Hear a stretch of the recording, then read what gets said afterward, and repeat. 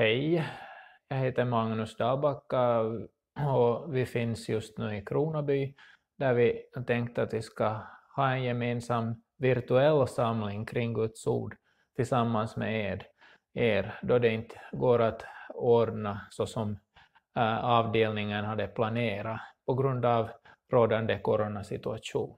Vi hoppas ändå att du ska få ut någonting av Guds ord och möta honom i ordet som vi nu ska stanna upp inför. Tack för att du är med och lyssnar.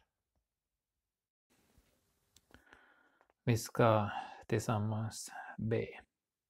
Tack Jesus för att vi får samlas i ditt namn. Tack för att du har lovat att du är med där två eller tre är församlade i ditt namn. Tack för att det gäller oberoende var vi just nu befinner oss på olika platser i Finland eller i vår värld.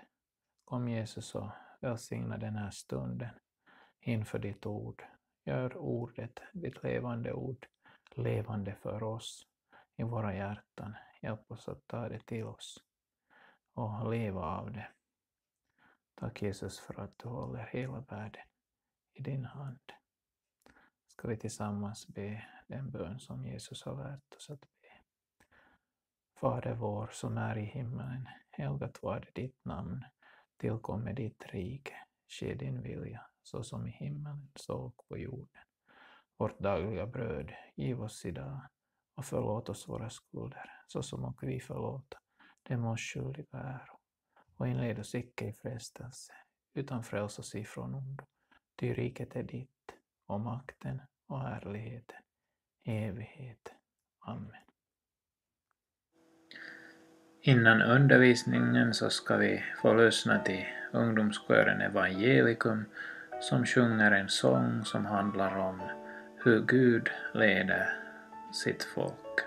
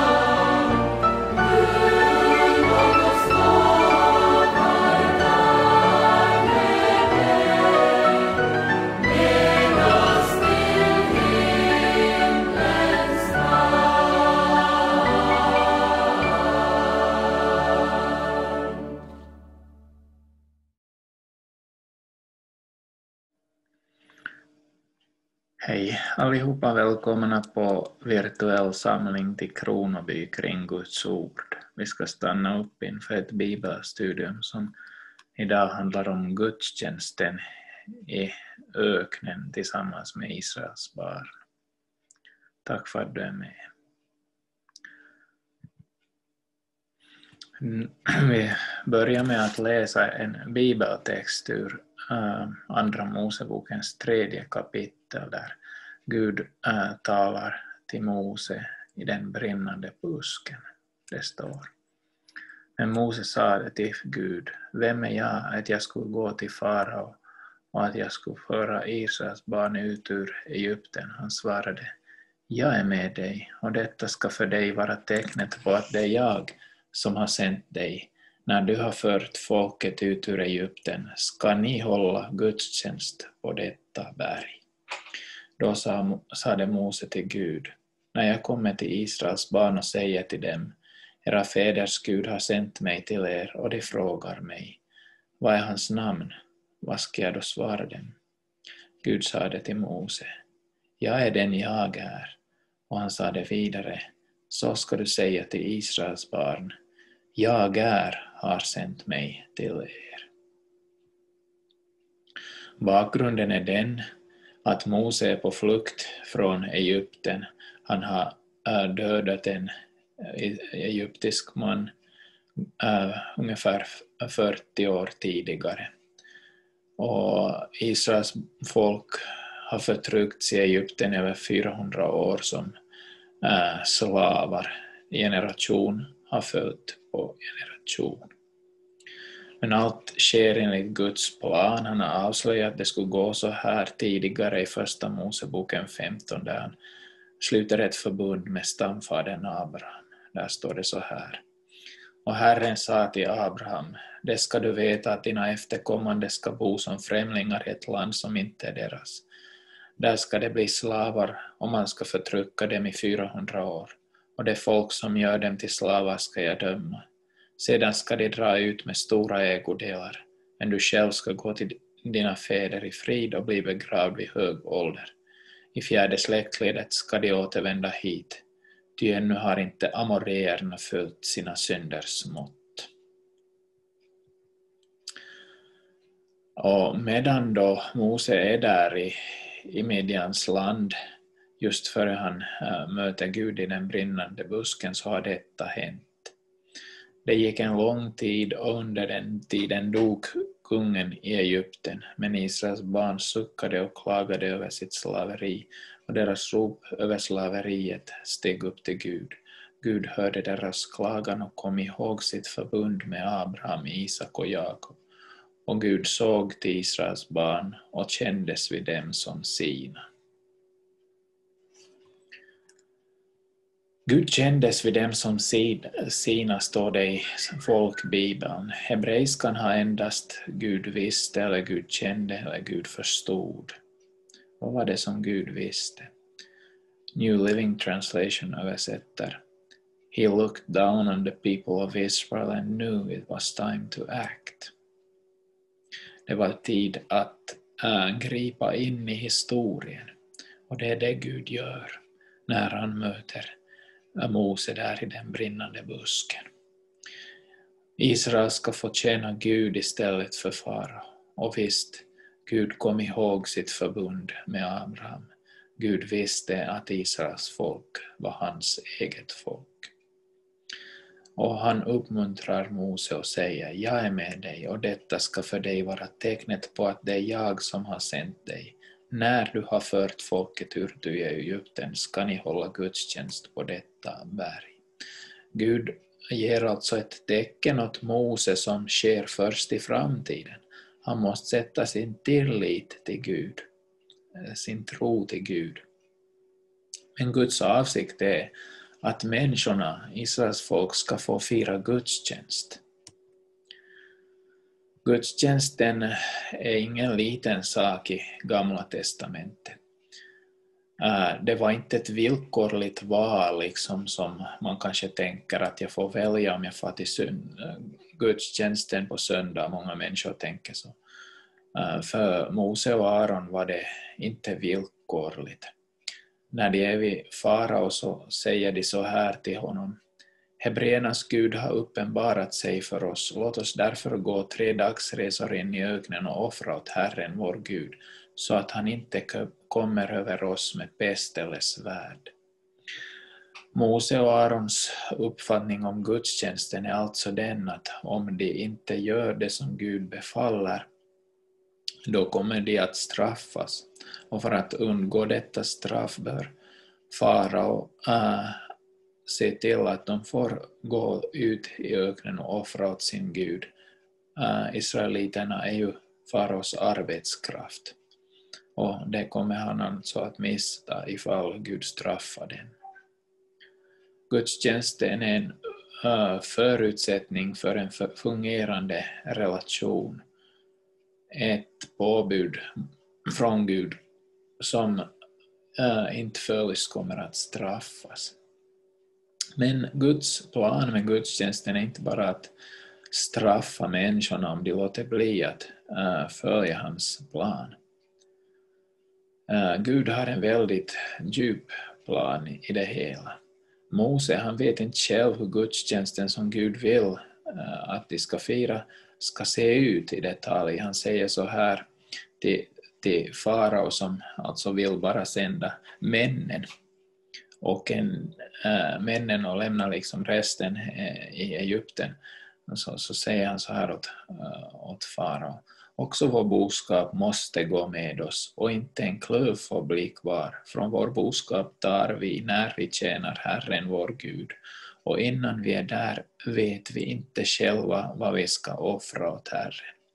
Det är alltså viktigt för Mose att inte offra vad som helst, inte bara var, inte tjäna Gud på vilket sätt som helst, utan tjäna honom på det sätt som han själv bestämmer. Guds avsikt med gudstjänsten vid Sinai är att skapa ramar för att han ska kunna bo bland ett syndigt folk. Vid Sinai berg så får Moses en anvisningar om hur Gud ska tillbes, efter att folket accepterat villkoren i förbundet, de tio budorden som eh, de flesta av oss känner igen, förbundstecknen. Men därpå, när de har fått de här tio budorden så ska Mose få gå upp på berget och, och hämta ner de här tavlorna som Gud ska skriva åt dem med de här tio villkoren. Gud säger så här till Mose, stig upp till mig på berget och bli kvar där så ska jag ge dig stentavlorna med lagen och budorden som jag har skrivit till undervisning för dem. De här grundläggande lagarna för förbundet. Och det här sägs i kapitel 24, vers 12. Men det fanns också äh, föreskrifter om olika offer i de här gudstjänstlagarna som också, som också gavs samtidigt och eh, det här kan vi läsa om bland annat i tredje Moseboken 7.37 38. Detta är lagen om brännoffret, matoffret, syndoffret, skuldoffret, prästvigningsoffret och gemenskapsoffret.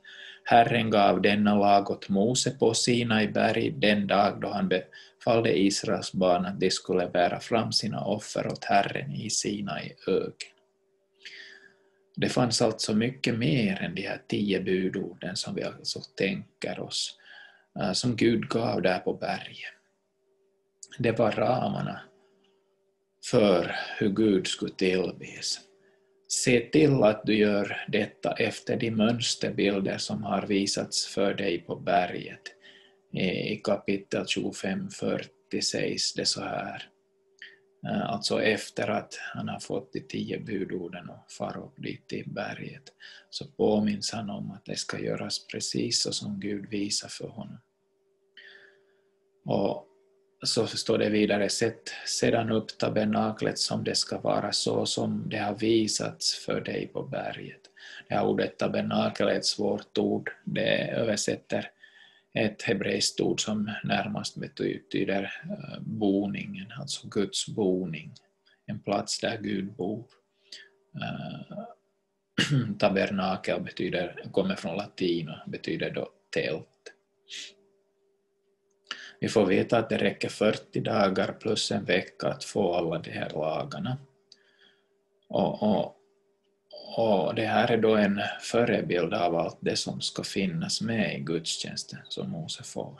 Så här såg det här, det här tabernaklet ut. Det var en äh, tresidad äh, byggnad med väggar runt omkring av akacieträd och, och, och det här ena ända gick man då in bakom ett draperi och där finns också brännoffersaltaret längst till vänster och där man offrar de här syndoffren och de här och sen eh, innan man gick in i eh, det här eh, Guds boning där i tabernaklet så skulle prästen tvätta sina händer i den här, det här bronskaret där utanför som vi också ser mellan tabernaklet och bronsaltaret. Så här ser det ut uppifrån enligt de anvisningar som finns i Bibeln. Nåja, så står det så här, Herrens härlighet vilade på Sinai berg och molnskyn övertäckte berget i sex dagar, men på sjunde dagen kallade han på Mose ur skyn. Och Herrens härlighet såg för Israels barn ut som en förtärande eld på toppen av berget. Mose gick mitt in i molnskyn och steg upp på berget. Sedan blev han kvar på berget i 40 dagar och 40 nätter. Där ska han då, folket vet alltså att han ska få de här lagarna, men de orkar inte vänta på anvisningar och, och, och börjar resonera utan Guds eget direktiv om hur gudstjänsten skulle gå till. Man utlyser en egen gudstjänst som inte följer de föreskrifter som Gud har tänkt att skulle gälla i förbundet med Gud. Man bygger en guldkalv och tillber den och Aron, eh, Mose bror, eh, är, är då med i spelet.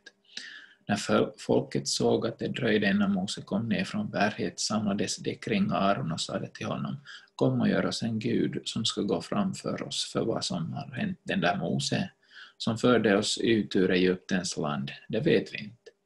Då sade Aron till dem Ta guldringarna som era hustrur, era söner och era döttrar har i öronen och ge dem åt mig. Det här står skrivet i Andra Mosebok 32. Han tog emot guldet och gjorde av det en gjuten kalv som han formade med en mejsel och det sa Detta är din Gud Israel som har fört dig upp ur Egyptens land. När Aron såg detta byggde han ett altare framför dem den och utropade Imorgon är det en Herrens högtid. Nästa dag steg de upp tidigt och offrade brännoffer och bar fram gemenskapsoffer. Folket såg sig ner för att äta och dricka och sedan steg de upp för att förlusta sig.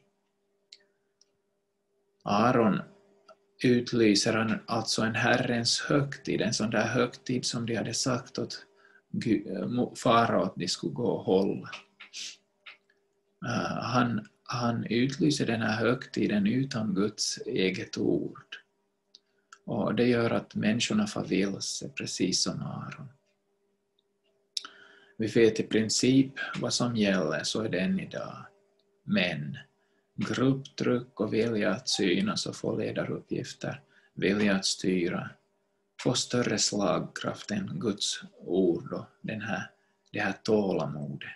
Man orkar inte vänta på Guds ingripande. Har han glömt oss? Och så börjar man resonera själv. Nya tider, nya regler. Man töjer på det som gäller. Plötsligt lurar man sig själv och andra att man dyrkar Bibelns Gud fastän man inte gör det. Tänk att de sa, detta är din Gud Israel som har fört dig upp ur Egypten att säga så inför en guldkalv fast man vet vad man själv var med när Gud ledde dem genom Röda havet. Ah, det här var ett, en stor synd. Det bröt förbundet med Gud. Men som tur slutar inte boken här. Det visar för oss att det finns omvändelse från också den största av synder. Och det vill boken Andra Moseboken lyfta fram. Gud är en barmhärtig och han vill ehm, efter att eh, Mose har talat med honom länge eh, återupprätta det här förbundet och det sluts igen. Han, slut, han, åter, eh, han sluter det på nytt. Och som följd av att Gud ändå vill ha med dem att göra, fastän de har brutit mot hans bud, så händer det här när de ska bygga det här tabernaklet. Och de tog emot av Mose alla de gåvor som Israels barn hade burit fram till arbetet med att bygga helgedomen. Folket fortsatte att bära fram frivilliga gåvor till honom morgon efter morgon. Då kom alla de konstnärligt begåvade män som utförde allt arbete vid helgedomen, var och en från det arbete han höll på med, och sa till Mose Folket bär fram mer än vad som behövs för att göra det arbete som Herren har befallt oss att utföra. Folket är så glada att de får ha med Gud att göra, att nu den här gången så vill de ge mera än vad som krävs. Och så är det alltid när vi upptäcker att Gud är en förlåtande Gud, att vi får omvända oss till honom trots våra synder och brister. Då blir vi glada och, och då älskar vi därför att Gud först har älskat oss. Så händer också här. Och så händer det alla gånger en människa förstår att hon är förlåten och får, får omvända sig till Gud. Man förstår att den här förbundsnåden med Gud, den fås inte hur som helst utan den ges på det sätt som han befaller. Och då vill man också värna om den här nåden. Uh, om man vill ta till sig den på, på Guds villkor. Den är Guds centrerad, gudstjänsten är Guds centrerad. Och människorna får inte själva bestämma hur man ska tillbe honom, men det kvittar dem. De bryr sig inte mer om det, de vill göra som Gud säger, därför att de förstår att nu får vi förlåtelse. De vill inte ha den här guldkalven mera. De förstår att gudstjänsten är en nödvändighet för att syndiga människor inte ska dö när de kommer nära Gud. Det var nära att de skulle ha dött, men de fick omvända sig. Nu förstår de att gudstjänsten är ett sätt så att de får komma till Gud och ha gemenskap med honom trots sina synder. Gudstjänstramarna är inte ett hinder för att möta Gud, utan det är en förutsättning för det, så att man inte ska dö, och de är så glada för det. Och det vill Gud att då jag också ska vara. Att vi ska läsa hans instruktioner. Hur ska vi tillbe honom idag? Hur kan vi närma oss Gud? Att vi ska se de här ramarna som han ger oss i Bibeln, inte som hinder för att möta Gud, utan som en förutsättning, en källa till glädje. Att då jag som är syndare får komma till honom sådana vi är. Gudstjänsten på Sinai uh, skedde första dagen i första månaden av andra året. Efter elva månader vid Sinai sätter man upp Guds boning. Det har tagit länge, det är inte en sån där en halvtimmes gudstjänst. Men sen när man har satt upp det enligt Guds direktiv och ordning, då står det att Guds närvaro fyller det här eh, eh tabernaklet, den här boningen, mitt i lägret. Och så slutar Andra Mosebok. Då övertäckte molnskyn uppenbarelsetältet och Herrens härlighet uppfyllde tabernaklet. Mose kunde inte gå in i uppenbarelsetältet eftersom molnskyn vilade över det och Herrens härlighet uppfyllde tabernaklet. Alltså hela den här byggnaden blev fylld av Guds närvaro när man gjorde som han hade sagt. Han bodde med dem, han var mitt ibland dem. Och böcker så står det att det på tjugonde dagen i andra månaden i andra året är uppbrott från Sinai.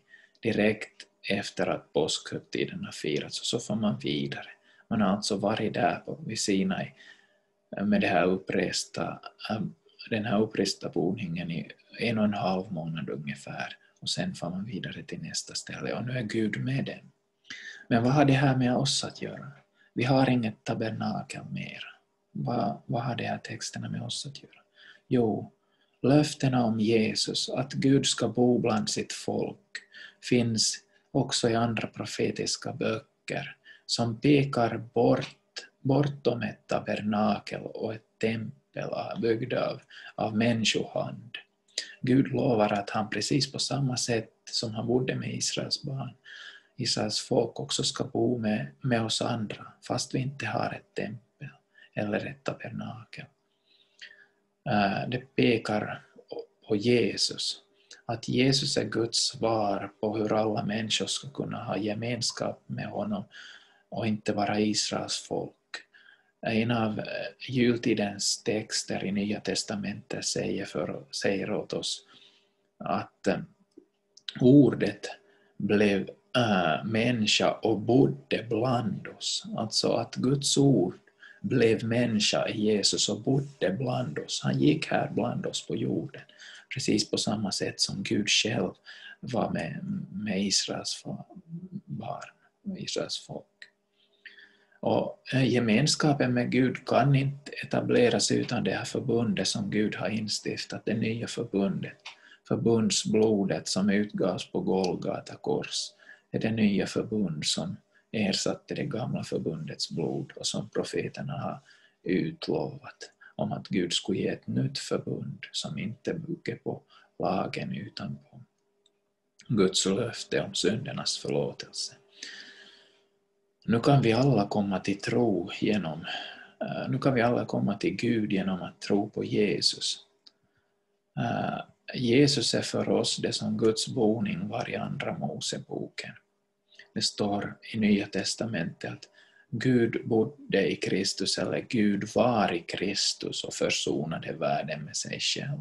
Gud var i Kristus precis på samma sätt som han var i tabernaklet. Där Jesus gick, där gick också Gud. Där kunde man se honom. Jesus säger att, att ni, som, ni som har sett mig har sett Fadern. Han tillräknade inte människorna deras överträdelser och han har anförtrott åt oss försoningens ord. Gud försonar oss med sig själv i Jesus, i det som Jesus gör. Han är det fullkomliga templet, fullkomliga tabernaklet, fullkomliga boningen, Guds boning, där vi får möta Gud själv. Och Jesus har ganska högt självanspråk faktiskt om detta. Han talar om sig själv, om sin egen kropp och säger bryt ner detta tempel så ska jag resa upp det på tre dagar. Judarna sa det, i 46 år har man byggt på detta tempel och du ska resa upp det på tre dagar. Men det tempel han talade om var hans kropp. Uh, judarna missförstod Jesus. Han, han hade liksom uppfyllt templet uh, Äh, med sin närvaro. Liksom. Äh, eller han, han, han, äh, han är templets uppfyllelse kan man säga. Och han förutsäger själv att templets tid är förbi när han talar med den samar, samaritiska kvinnan. Tro mig kvinna, den tid kommer då varken då det varken är på detta berg eller i Jerusalem som ni ska tillbe Fadern. Ni tillber vad ni inte känner, vi tillber vad vi känner, eftersom frälsningen kommer från judarna. Men den tid kommer, ja den är redan här, då sanna tillbedjare ska tillbe Fadern i ande och sanning, ty sådana tillbedjare vill Fadern ha. Gud är, Gud är ande, och den, de som tillber honom måste tillbe i ande och sanning. Vi behöver inte mera vara bundna till platser, givna platser. Vi får tillbe Gud varhelst vi är i ande och sanning. Gud finns där hans ord finns. Där låter han oss möta honom. Där har vi frid med honom och varann. För han har försonat oss en gång för alla. Vi är döpta och har del av den välsignelse som Abraham fick där i, där i 15 kapitlet i Första Moseboken. Uh, och, och apostlarna uh, uppmanar oss Låt Kristi frid regera era hjärtan, den frid som ni blev kallade till i en andra kropp och var tacksamma precis på samma sätt som Israels barn. Var tacksamma att vi får ha frid med Gud och frid med varandra. Låt Kristi ord rikligt bo hos er med all sin vishet. Det är det som ska få finnas bland oss, precis på samma sätt som Guds närvaro bodde i tabernaklet. På samma sätt ska Guds ord, Kristi ord, rikligt bo i vår gemenskap med all sin vishet, undervisa och förmana varann med psalmer, hymner och andliga sånger och sjung med tacksamhet Guds lov i era hjärtan. Och allt vad ni gör i ord eller handling, gör det i Herren Jesu namn och tacka Gud, Fadern, genom honom.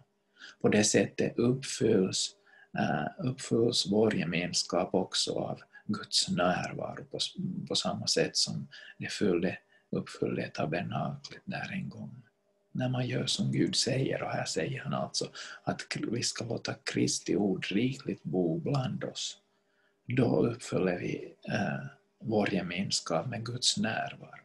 Man uppfyller inte eh, eh, den kristna gemenskapen med Guds närvaro genom något annat sätt, eh, oberoende hur trevligt det annars skulle kunna vara där. Det är Kristi ord som ska finnas där för att uh, vår gemenskap ska fyllas av, av Guds närvaro. Och då är det inte, Äh, vi kan ha gemenskap med varandra så här också i coronatider, fast vi är på olika sätt, ställen. Nu, just nu äh, också så fyller Gud oss med sin Ande, vår gemenskap, den här osynliga gemenskapen och han bygger upp oss. I honom, Jesus, blir också ni uppbyggda till en Guds boning genom Anden. Alltså vi människor som nu lyssnar till det här ordet om Jesus, vi blir också uppbyggda till en Guds boning genom Anden. Han uppbygger dig och mig och oss tillsammans till en boning där, där hans Ande leder oss och vi lyssnar till hans ord så att vi eh, når till himlen och också tar andra med när vi är på vandring Eh, dit. Då får vi komma dit efter att vi dör här på jorden. Om någon älskar mig håller han fast vid mina ord, säger Jesus, och min fader ska älska honom, och vi ska komma till honom och ta vår boning hos honom. Har du tänkt på det här att Jesus lovar att när vi håller fast vid hans ord, då kommer han in i ditt hjärta, hur syndigt det än är, hur orent det än är, och gör det omöjliga möjligt. När vi håller fast i hans ord, i ord och gärning, ber om förlåtelse för våra synder, inte på grund av vad vi har gjort, utan på grund av vad Jesus har gjort för oss, och lever i tro på honom, ja, då kommer eh, han till oss och tar vår boning i oss, och han städar upp där. Uh, uh, vet ni inte, säger aposteln, att, att Guds tempel vet ni inte att ni är ett Guds tempel och att Guds ande bor i er? Det är väldigt fina ord och det är det som vi får ta till oss. Att i de här stunderna när corona härjar så är Guds ord ändå verksamt och Gud ändå, uh, han bygger ändå upp sin församling genom samma ord. Och därför vänner, ska vi hålla fast vid Kristi ord i dessa coronatider då ska Guds ord bo bland oss, men också i vårt inre. Och vi får tacka Gud för att det verkligen är så. Han är en god Gud och han bryr sig om oss. Ska vi be. Jesus kom in, rena mitt sinn, Kom in i mitt hjärta, Jesus. Kom in, bo kvar, min styrka var. Kom in i mitt hjärta. Jesus.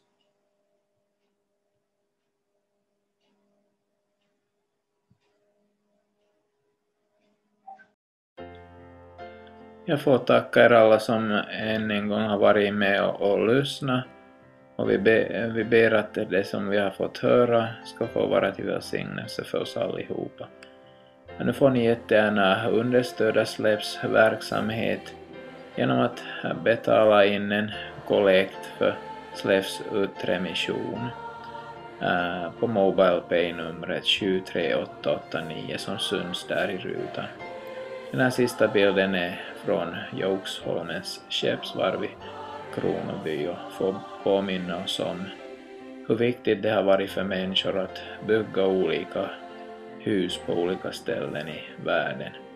Och äh, också för israeliterna var det viktigt att bygga Guds tabernakel Men vi får vara med och, och bygga Guds hus, andliga hus, genom att sprida hans ord.